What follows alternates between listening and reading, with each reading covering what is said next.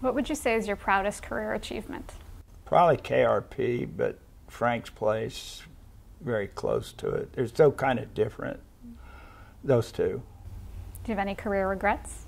Yeah, about three or four movies. How would you like to be remembered? Mm.